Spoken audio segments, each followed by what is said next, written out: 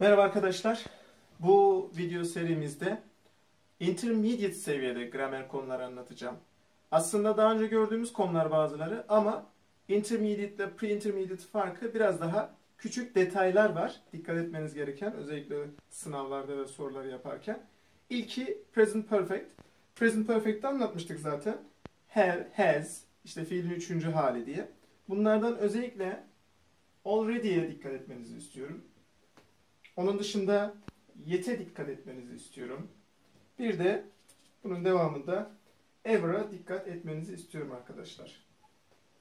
Already olumlu cümlelerde kullanılabilir, sorularda kullanılabilir. Örneğin, we have already finished our homework. Çoktan ödevimizi bitirdik. Have you already finished? Çoktan bitirdin mi? Ya da e, have you finished e, your homework yet? Bu ikisi farklı arkadaşlar. Yet'i de olumsuz cümlelerde kullanıyoruz. Artı sorularda kullanıyoruz yine. Örneğin I haven't cleaned neyi sil temizlememiş? The room yet. Yet gördüğünüz gibi cümlenin sonuna gitti arkadaşlar. Already ana fiilden önce kullanılıyor. Yet cümlenin sonuna gidiyor. Have you cleaned your room yet? Hani bunu çevirirken şöyle çeviriyoruz. Odanı daha temizlemedin mi deriz ya Türkçe'de. Onun gibi çevireceğiz. Ee, daha henüz anlamına geliyor ama oda, odanı daha henüz temizledin mi diye değil.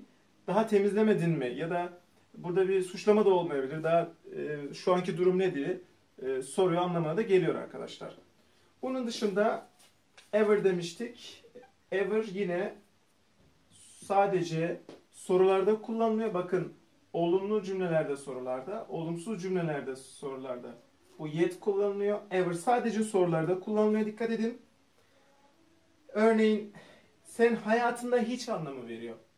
Have you ever watched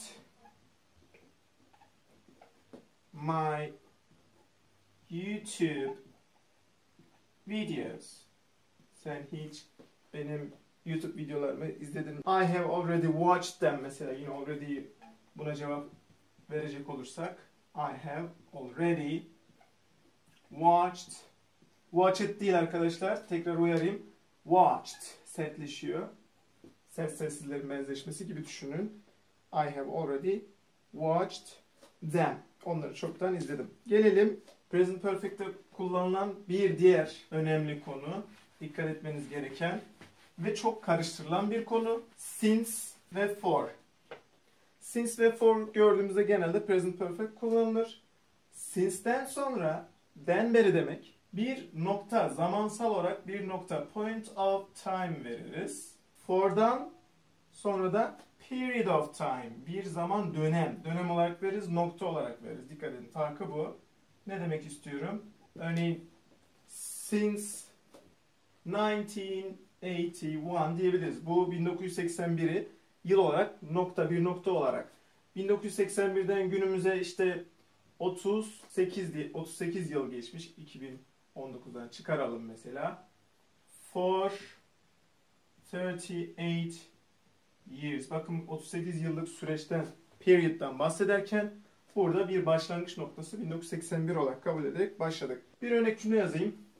I have been studying English. İngilizce çalışıyorum. Okuyorum. Ne zamandan beri? Since 2001. 2001'den beri. Yeni yıl verdik bakın. For'la aynı cümleyi nasıl yaparım yine? I have been studying. I have studied de diyebiliriz. Bu ikisinin temel farkı burada başladığım o süreç, o sürecin devamlılığını vurguluyorum. Continuity ediyoruz ona, devamlılık. Burada da başladım, e, geçmişte başladım, hala e, aktif olarak yapıyor olabilirim veya bitmiş de olabilir. genelde olayın bitmiş olduğunu bununla vurgularız. Devamlılığı bununla vurgularız. I have studied dedik for 2001 yıl demiştik. 18 years. 18 yıldır. Şimdi bunları nasıl ayırt edeceğiz? Çünkü karışabiliyor zaman zaman. Since'i daha çok den beri olarak düşünün. For'u da dır ya da dir olarak düşünün arkadaşlar. Bir cümleyi e, çevirirken örneğin 2001'den beri diyorsam since'tir. 2001'dir diyebiliyor muyum? Diyemiyorum. Bunu bazen den beri for'u çevirirken kullanılabiliyor. Mesela 18 yıldan beri öğreniyorum derken kafanız sinse gidebilir. Sadece şu soruyu sorun. Dır ve dir, dir diye çevirebiliyorsam sadece for'la kullanırım. Mesela 2001'dir. Dır dirle kullanamıyorsam since olmak zorunda. Sinse gideceğim. 38 yıldır dır diri kullanabildiğim için sinse hiç düşünmüyorum artık. Direkt for'a gidiyorum. Böyle bir e, Türkçe'de ayrım yapabilirsiniz. Birkaç tane for ve since örneği verelim. Since point of time dedik. Bu point of time'lar yani noktalar neler olabilir? Onların üzerinde biraz duralım. Biraz örnek verelim. Hatta şöyle bir sınav mini bir sınav tarzında da olabilir. Videoyu yazdıktan sonra durdurun. Just a few days. Sadece birkaç gün. Monday. Bir gün. Pazartesi. Hours. Saatler. We moved. Taşındık. Herhalde taşındığımızdan beri bir e, zaman for ve since'le soru soracak. Ondan bahsedeceğiz. Two weeks. iki hafta. 2011 8 o'clock. Şimdi videoyu durdurup kendinizi test edebilirsiniz. Hangisiyle for, hangisiyle since kullanırım. Bu arada dırdir testini de beraber uygulayalım şimdi. Durdurduğunuzu varsayarak devam ediyorum cevap vermeye arkadaşlar. Evet. Sadece birkaç gündür diyebiliyor muyum? Direkt for'a gidiyorum arkadaşlar. Since'e hiç bakmıyorum bile. Pazartesi. Pazartesidir çalışıyorum oluyor mu? Hayır olmuyor. O zaman for'a hiç gitmiyorum. Since diyorum. Saatlerdir çalışıyorum. Oluyor mu? Oluyor. O zaman since'i hiç düşünmüyorum. Dırdır oluyorsa direkt for yazabilirsiniz. Taşındığımızdır olmuyor. O zaman taşındığımızdan beri demem lazım. İki haftadır oluyor. O zaman for. Dırdır oluyorsa hatırlayın direkt for'a gidiyoruz. 2011'dir diyemiyorum. 2011'den beri demek zorundayım. Siz saat 8'dir de demiyorum. 8'den beri saat 8 o'clock biliyorsunuz saat başını gösteriyor. O zaman ne demek zorundayım? Since 8 o'clock demek zorundayım arkadaşlar. Az önce present perfect simple present perfect continuous farkından bahsettim. Şöyle bir cümle görürseniz we have asked over 100 people gibi bir cümle görürseniz yüzden fazla kişi bir sayı verilirse arkadaşlar bu olmuş bitmiş anlamında devamlılık halinde kullanamıyoruz. Yani we have been asking over 100 people gibi bir cümle olmuyor. Present perfect simple'la present perfect continuous'u ayırırken buna da dikkat etmenizi öneririm. Üçüncü konumuz if'ler, unless'ler. Onlar üzerinde biraz duralım. Unless'in anlamı arkadaşlar medikçe. Türkçe'ye çevirdiğimizde medikçe. İngilizce eş anlamlısı yine if'li cümlelerle ifade edecek olursak if not eğer olmazsa olmadıkça gibi bir anlamı var. Örneğin unless we protect the trees ne anlama geldi burada? Ağaçları korumadıkça biz, korumazsak yani, we'll have less oxygen. Çok daha az oksijenimiz olacak.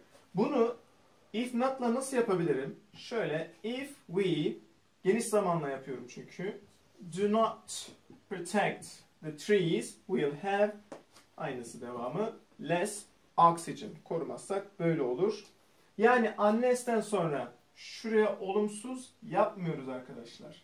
Unless we don't gibi bir şey yok. Çünkü zaten unless şuradaki if ile beraber do not anlamını kendi içinde barındırıyor. Bu type 1'da örnek vermiş olduk. Gelelim if clause type 2'ya. Biliyorsunuz type 1 if I study hard örneğin I will pass my exams gibi bir cümle kuruyorduk. Geniş zaman devamında will vardı. Bu type 1. Type 2 nasıl oluyor? If I studied hard, I would devamında da would kullanıyoruz. Pass my exam. Bu biraz daha geleceğe yönelik tahmin demiştik. Bu biraz daha şu ana gerçeğe aykırı durumdan bahsediyoruz. Daha çok çalışsam ki çalışmıyorum. Her zaman Type 2'da aksini düşüneceksiniz. Daha çok çalışsam ki çalışmıyorum bugünlerde. I would pass. Geçerdim ama geçemem bu çalışmayla gibi gerçeğe aykırı durumdan bahsediyoruz. Burada peki benim vereceğim örnek ne? Were ve was'ın kullanımı. Bu intermediate seviyedeki detay. Uyarılarda mesela ya da dileklerde if I were you işte yerinde olsam I would nokta nokta yapardım. Burada normalde biz ne bekliyoruz? Aydan sonra hep ne öğretiyoruz? Was kullanılır ama bu tür uyarılarda arkadaşlar yaygın olarak were kullanılıyor. Onun dışında bu tabi biraz daha tavsiyeye giriyor. Mesela tavsiye dışında ne var? If I were rich zengin olsaydım. Bunun yerine was da kullanabilirsiniz. Sıkıntı yok. Hani şuradaki uyarıda daha çok were kullanılıyor ama şurada zengin olsaydım da bir uyarı söz konusu olmadığı için was da mümkün. Yine önemli if clause'larda bazen if yerine when kullandığımız da oluyor. If ile when'in anlam farkı ne o zaman? When versus if. Yani when ile if'in farkı. When daha çok dığında, diğinde gibi anlam veriyor. If bilek, dilek şart diyoruz ya, se, sa anlamı veriyor. Mesela we will leave ayrılacağız, çıkacağız, evden çıkacağız. Mesela home diyebilirsiniz. Burada home. When they arrive dersem ne anlama geliyor? If they arrive dersem ne anlama geliyor? İkisi farklı. Şu şekilde çevirelim. Onlar geldiğinde çıkacağız evden. Onlar gelirse çıkacağız evden. Yani şunda biraz daha onların gelmesini bekliyoruz. Burada da aslında onların gelme şartı var. Gelip gelmeyeceklerinden çok da emin değiliz. When'in dışında as soon as de kullanabilirsiniz.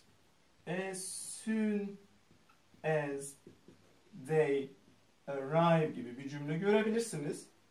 When'e benziyor. Ama biraz daha onlar gelir gelmez hemen peşinden yapacağız anlamı veriyor. Biraz daha çabukluk katıyor arkadaşlar. Üstünde durmak istediğim dördüncü konu future forms. Yani gelecek zaman formları arkadaşlar. Öncelikle prediction varsa yani bir tahmin varsa decision karar ama ne zaman karar? At the moment of speaking konuşma anında bir karar varsa devamında will kullanıyoruz arkadaşlar gelecek zamanla ilgili olarak. Genellikle e, konuşma anında dediğimiz için bunlar plansızdır. Unplanned ya da söz veriyorsunuzdur. Promise. İkinci olarak going to'nun kullanımlarına bakalım. Bir intention yani bir niyet varsa daha önceden geleceğe yönelik for future diyelim. Plan varsa yani şurada plansızdı burada bir plan varsa daha önceden yapılan buna already decided diyelim. Çoktan karar verilmiş ise devamında going to kullanacağız arkadaşlar. İşte kitap düştü. O an I'll take it for you. Ben senin için alırım. O an karar verdim. Plansızdı çünkü.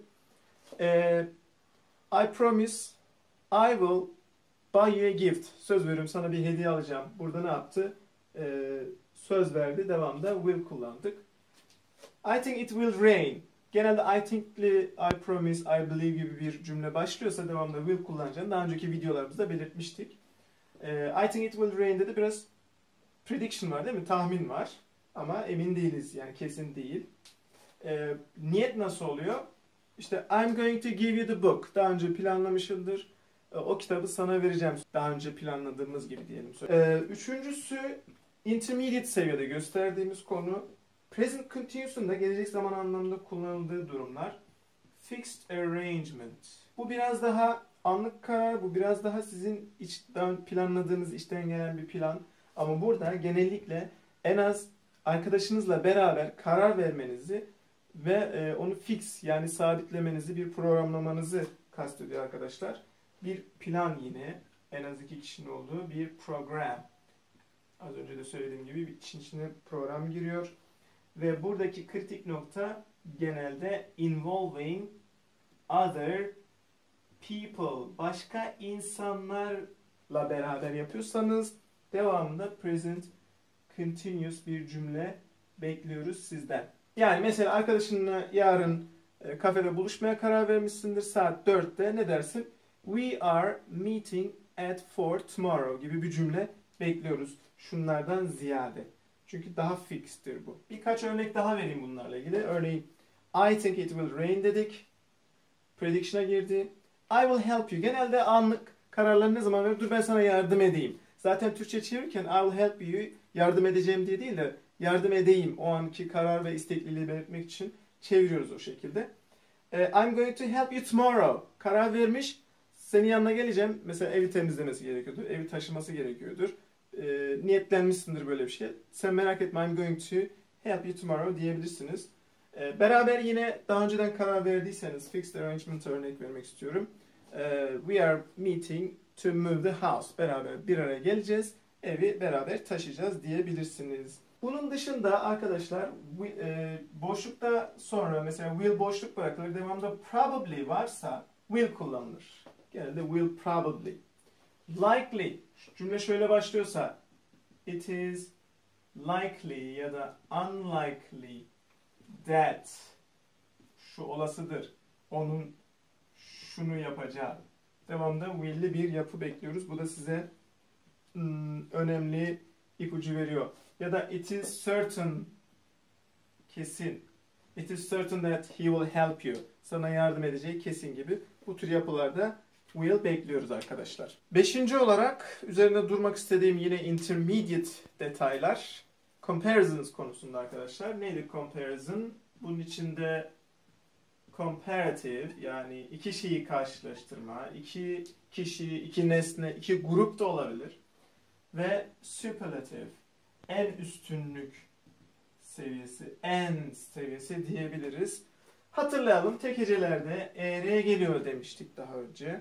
İki ve daha fazla one syllable, iki ve daha fazla hecelerde ne yapıyorduk? More artı sıfatın kendisini kullanıyorduk. Bunlar artık biliyoruz. Peki burada dikkat etmemiz gereken ne var? Arkadaşlar sonu OW ile bitiyorsa iki heceli de olsa bu sefer more kullanmıyoruz. ER takısı geliyor. Sonu zaten ER ile bitiyorsa yine ER takısı getiriyoruz. Sonu Y ile bitiyorsa, iki hecelilerden bahsediyorum dikkat edin. Sonu Y ile bitiyorsa yine e, ER getiriyoruz. Sadece I, Y, İ'ye dönüşüyor. Öyle ER geliyor. Mesela narrow, dar demek. Az önce söylediğimiz kuralda ne diyorduk? İki ve daha fazla hecelilerden more gelir. Ama burada narrow iki heceli olmasına rağmen sonu o ile bittiği için narrower than daha dar. İşte clever akıllı. Cleverer than daha akıllı. Happy mutlu. Happier than. Ne yaptık? Bu sefer er'e ekledik. Bir de sonu full'la bitiyorsa örneğin hope tek heceli normalde. Hopeful Hopefuller diye bir şey yok arkadaşlar. İki heceli kurallarına uyuyor bu. More hopeful diyoruz. Dikkat etmeniz gereken bir diğer noktada tire gibi fiiller sonuna D ya da ED getirilerek üçüncü hali yapılarak sıfata dönüştürülebiliyor. Tire yormak, tired yorgun. Bunlarda more ekliyoruz arkadaşlar. Tired'dir diye bir şey yok. Tek heceli olmasına rağmen bunlara more tired diyeceğiz. Lose mesela kaybetmek. Bunun sıfat hali ya da üçüncü hali lost, kayıp. Lost'tır diye bir şey yok. Hani tek hecelerde ne dedik? ER eklenir ama bunlar istisna. Artık intermediate'i görüyorsunuz. Bu tür istisnaları e, devreye sokmamız gerekiyor bu seviyede. More lost. Daha kayıp. Daha kayıp diye bir hani cümle kurulur mu bilmiyorum ama bu kuralı en azından bilmenizi rica ediyorum. More'un zıttı less'tir arkadaşlar. Örneğin more expensive diyorduk bugüne kadar değil mi? Bu seviyeye kadar. Daha pahalı hep kullanıyorduk. şu şundan daha pahalıdır ama bunu nadir kullanıyorduk. Belki de hiç kullanmadınız. Daha az pahalı nasıl söyleyeceğiz? Less expensive than. Bu da geçerli bir yapı. Aynısı süperlatiflerde most zıttı the least ya da the most'un zıttı the least. Örneğin ne diyorduk? Süperlatiflerde the kullanacağız. The most expensive en pahalı. Peki en az pahalı? The cheapest bir seçenek ama least'i de kullanabiliyoruz. The least expensive şeklinde de bir kullanım var. Süperlatif komparatif ile ilgili dikkat etmemiz gereken başka ne var? Modifiers. Modifiye ediyor. Hani arabayı modifiye ederiz ya, değiştiririz bazı parçalarını. Ee, bir komparatif yapının, süperlatif yapının da derecesini değiştirebiliyoruz bu şekilde. Mesela more expensive daha pahalı. Buna a lot ekleyebilirim. A lot more expensive çok daha pahalı ya da much more expensive yine aynı anlama geliyor. Çok daha pahalı. A little more expensive desem biraz daha pahalı. China is more populated than Turkey. Evet, Türkiye'den daha fazla nüfusu var Çin'in. Ama aslında daha fazladan da öte çok daha fazla değil mi? O zaman buraya ne diyebilirim? A lot more populated, much more populated diyebilirim ama a little more populated diyemem çünkü çok fazla fark var. Bunun yerine Türkiye ile Almanya'nın büyüklük açısından coğrafi anlamda e, fazla farkı yok. Turkey isn't much bigger than Germany. Almanya'dan çok da büyük değil coğrafi olarak anlamında böyle bir cümle kurabiliriz. Bir de as as yapımız var karşılaştırmalarda. Eşitlik anlamı veriyor ama as hot as kadar sıcak ama not eklerseniz kadar sıcak değil anlamı verirsiniz. Basit bir yapı. Örneğin I am as happy as you. Ben senin kadar mutluyum. Bunu olumsuz da yapabilirsiniz. Senin kadar mutlu değilim. Kadarla eşitliği nasıl bildirdiğime dikkat edin Türkçe çevirirken. Ben senin kadar mutlu değilim gibi bir cümle olabilir arkadaşlar. Bir diğer önemli konumuz da relative clause'lar. Relative clause ismi çok böyle değişik ama Türkçe'de sıfat tamlaması diyebiliriz. Örneğin this is the book uh, which I read several times. Bu benim birkaç kez okuduğum kitap. Bakın. The book which I read several times. Okuduğum, diğerlerini yok sayalım. Okuduğum kitap. Gördüğünüz gibi Türkçe çevirirken bu bir isim. İsmi niteliyor gördüğünüz gibi. İsmi niteleyen nedir? Sıfattır değil mi? O yüzden relative clause'a ben sıfat diyebilirim aslında. Ee, zaten an, ası, mez, ar, dik, ecek, miş. Bunlar ne yapıyordu? Sıfat yapıyordu değil mi fiillerden? Okumak fiilinden sıfata dönüştü. Genelde burada da gördüğümüz gibi dık, dik ile relative clause'ları Türkçe'ye çeviriyoruz. Aslında basit bir konu. Bakalım nasıl yapılıyor relative clause'lar? İki örnek vereyim. That is the man. He helped me yesterday. Aslında relative clause'daki amacımız e, bu adam, o adam dün bana yardım etti. Cümleyi kesik kesik söylersek e, akıcılık kayboluyor. Relative clause'da biraz akıcılık kazandırmış oluyoruz. Peki relative clause'larda neye dikkat edeceğiz? Önce bir ortak öğe olması lazım. İşte adam o. O adam o yardım etti. Şu şekilde birleştirebiliyoruz o zaman. That is the man. Adamı kullandım. İkinci cümlede ortak olan öğeyi bir daha kullanmayacağım. Who dedikten sonra insanları nitelerken who ya da that kullanabiliyoruz. Who şunu yanlış yazmışım. Helped me olacak.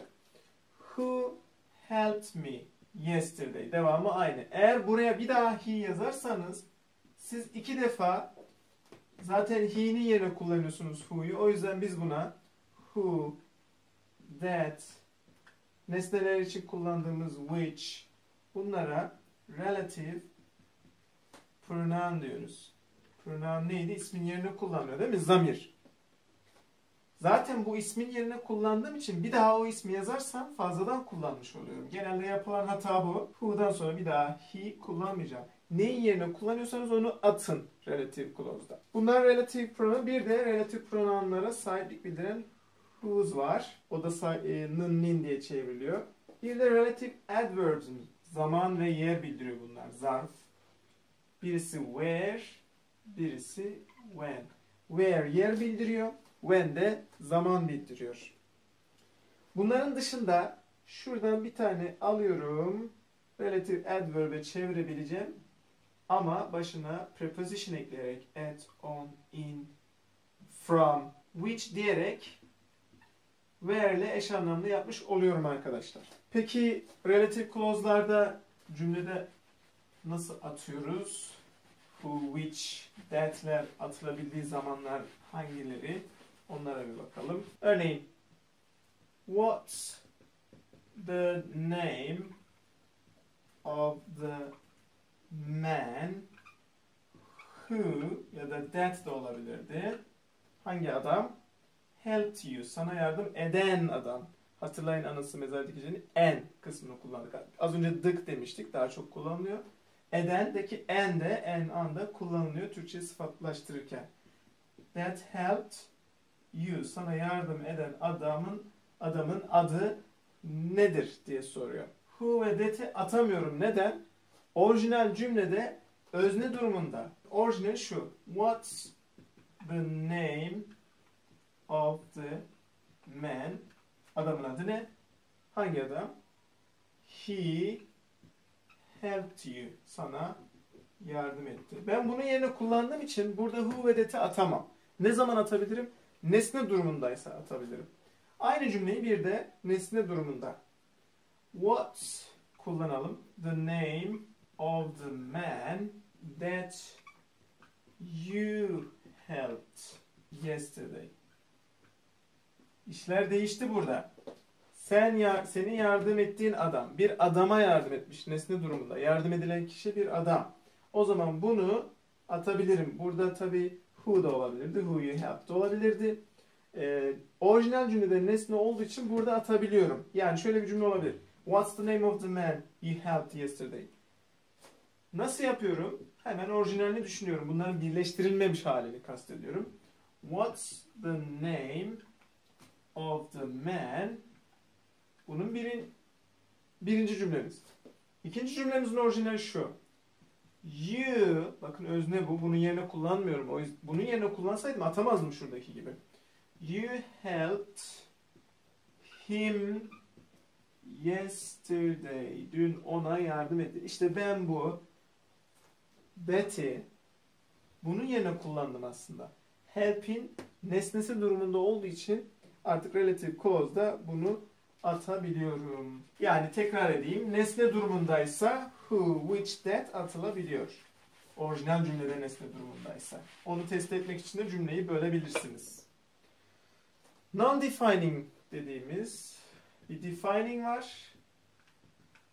Bir de non-defining. Defining'de e, kesin o bilgiye ihtiyacımız var. Atamıyoruz. Ek, ekstra da olsa, ekstra bilgi olarak verilse de.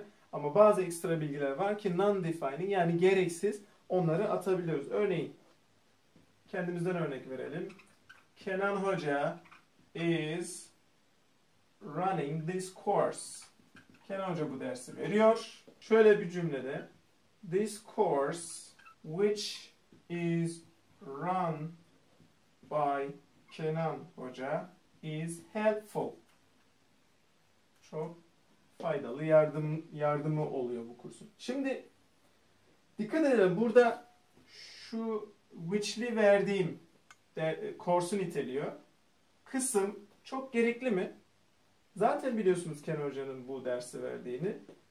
Burada bir daha vermemize gerek yok. O zaman atabiliyorum. Atınca ne hale geliyor? This course is helpful gibi bir cümle geriye kalabiliyor arkadaşlar. Yani e, gereksiz ekstra bilgi varsa non-defining diyoruz. Non-defining cümlelerde de e, dikkat etmeniz gereken bir nokta virgülle ayrılabiliyor. Yani virgül ne demek? Bu bir non-defining. İstersen bu bilgiyi atabilirsin gereksizse mesajını veriyor size. Yine bu seviyede üstünde durmak istediğim önemli bir konu models arkadaşlar. Model'lar. Model deyince aklınıza can, may, might, should, ought to bunlar gelecekler. Ama bunların üzerinde özellikle üstünde durmak istediğim bu seviyede must, have to, bakın have to diye ayırmıyoruz. F gibi bir ses çıkacak burada. Have to, have to değil, have to. Biraz ağzınızı açarak söyleyin bunu. Need to. Bu üçü necessary yani zorunlu, gerekli anlamı veriyor. Genellikle de regulations, düzenleme, kanuni düzenlemeler, kurallar söz konusu olduğunda bunları kullanıyoruz. İşte you must stop at the red light. Kırmızı ışıkta durmalısın. You have to stop at the red light. Kırmızı ışıkta durmak zorundasın. You need to stop at the red light. Durmana gerek var, gerekli anlamında. Ee, küçük anlam farkları var ama bunların en, üst, içinde en güçlüsü have to. Kesin kurallar. Must biraz daha iç, içten gelen. Burada e, must kadar olmasa da yine zorunluluk bildiriyor need to. İkinci olarak dikkat etmeniz gereken don't have to. Bunu daha önceki videolarımızda da belirtmiştim. Have to'nun zıttı değil arkadaşlar. Have to da yapmak zorundasın. Don't have to da yapmak zorunda değilsin anlamı veriyor. Yani sana veriyor seçeneği. Bunun eş anlamlısı don't need to yani yapmana gerek yok, ihtiyaç yok anlamını veriyor. Not necessary. Zorunlu değil, gerekli de değil çok fazla. Üçüncü nokta mustn't, can't ile hemen hemen eş anlamlı. Yapmamalısın, yapmamak zorundasın. Can't, yapamazsın. Yasak gibi anlam veriyor. Yani important not e, to do. Yapmaman çok önemli. Ya da necessary zorunlu yapmamak zorunlu burada. Yani have to'nun zıttı mustn't ve can't diyebiliriz. Should diğer modelimiz önerilerde bulunuyor. İşte you should go to the doctor. Verdiği anlam it is advisable. Yani tavsiye edilebilir yapma. Shouldn't da bunun zıttı. İngilizce eş anlamlısı it's not advisable. Yani tavsiye edilebilir değil. Örnek verelim. Az önce söylediğim gibi you must stop at the red light. You have to stop at the red light. You need to stop at the red light. Bunlar kural, kanun, gerekli. Kırmızı ışıkta durmak. You, you don't have to come home so early. Eve o kadar erken gelmek zorunda değilsin. Yani bu seçenek sana kalmış. Sen iste, gerekli değil. Sen nasıl uygun görüyorsan. You don't need to come home so early. Eve bu kadar erken gelmene gerek yok. Yine seçenek senin. Ama yasaklayacaksak you mustn't come home late diyebiliriz. Eve geç gelmemelisin. Şunun zıttı gibi daha çok. Burada kişiye veriyoruz seçeneği. Ya da you mustn't wait here. Burada beklememelisin. Bu yasak. You can't wait here. Burada bekleyemezsin. Önerilerde işte you should go home early. Eve erken gitmelisin. Bu advisable, önerilebilir. You shouldn't go home early. Eve erken gitmemelisin. Bu da önerilebilen bir şey değil anlamında kullanılıyor. Gelelim past continuous ile ilgili önemli detay. Past continuous'u hatırlayacak olursak daha önce söyledik. Was, were artı fiile ing getiriliyordu ve Türkçe'de yordu gibi genelde çevriliyor arkadaşlar. Kullanım yollarından bir tanesi uzun olay, kısa olay diye anlatmıştık. Hatırlayın. Bu pre-intermediate seviyesinde anlattık. Örneğin I was sleeping when you called. Sen aradığında ben uyuyordum. Uzun olay, süren olay, uyuyor, uyuma olayı. Onu kesen olay, kısa olay senin araman. Yani bir olay oluyorken öbürü kesiyorsa past continuous'u diğer tarafta kullanıyoruz. Past simple'ı diğer tarafta kullanıyoruz. Past continuous'un Intermediate seviyeде öğrettiğimiz diğer bir kullanım da arkadaşlar repeated actions in the past. Geçmişte bir e, hareket sürekli tekrarlandıysa bu kullanılır. Örneğin öğrenci okuldan neden atıldı? Birkaç kez uyardık. Sürekli kavga çıkarıyordu, kavga ediyordu anlamında. The student was fighting with his friends every day. Her gün repeated bir şekilde tekrar tekrar bunu yapıyordu. Bir de üçüncü kullanım arkadaşlar emphasize duration. Bir olayın ne kadar sürdüğünü vurgulamak istiyorsak past continuous kullanırız. Örneğin they were looking for arıyordu. Ne arıyorlardı? For a tutor. Bir hoca arıyorlardı. Because he had low grades. Çünkü düşük notları vardı. Bunu şöyle vurgulayabiliriz. All year, all month. Bütün hafta boyunca ar- arıyorlardı diyebiliriz. All week. Burada ama önemli olan sürecin devam etmesi arkadaşlar. Burada neyi vurguluyoruz? Duration'ı. Şimdi gelelim past perfect simple'a. Yine ismi karizma olup insanları, öğrencileri korkutan bir zaman. Geçmiş, perfect bir de basit olacak. Nasıl oluyor? Present perfect simple'ı hatırlayalım. I have already de bugün gördük bu dersimizde. Already left. Çoktan ayrıldım. Present perfect simple bu. Perfect olduğunu nereden anlıyorum? Fiilin üçüncü hali olduğu için. Buna participle da deniyordu hatırlarsanız. Present olduğunu nereden anlıyorum? I have, işte she has, S takısı gelmiyor da S e, has'e dönüşüyor. Present olduğunu da buradan anlıyorum. Yani bu zamanın adı present perfect. E past perfect nasıl olacak? Demek ki bu present'sa bunun bir past'ını alırsam have had'e dönüşürse ikinci hali already left. Ne oldu bu? Az önce present'tı. Past oldu. Bu neydi? Fiilin üçüncü haliydi. Bu da perfect. Fiilin üçüncü hali deyince hemen aklınıza perfect gelecek. Hatırlatayım. İşte past perfect simple da bu arkadaşlar. İyi tamam çok basitmiş. Present perfect'ten yola çıkarak yapabiliyoruz. Anlamını da e, öğrenirsek herhalde tamamlamış oluruz kendimizi. Türkçe genelde mıştı ya da mişti diye çevriliyor. E, çoktan ayrılmıştım. Buna geçmişin geçmişi diyebiliriz. Ne demek istiyorum? Geçmişte iki olay var. İki olaydan daha geçmişte olan, daha önce olanı vurgulamak için past perfect kullanabiliyoruz. Mesela e, ayrılmıştım. When he noticed. O fark ettiğinde. Fark etme olayı oluyor ama ondan önce benim ayrılma olayım var. Yani o fark ettiğinde ben ayrılmıştım. Geçmişin daha da geçmişini past perfect simple'la vurgulamış oldum. Bu kadar basit. Bir örnek daha vereyim size. The film had started veya had already started. Çoktan başlamıştı da diyebilirsiniz. When we arrived at the cinema. Sinemaya ulaştığımızda film başlamıştı. Hangi olay önce oluyor? Filmin başlaması mı bizim sinemaya gitmemiz mi? Tabii ki past perfect'li olan kısım daha önce oluyor. Film başlamıştı.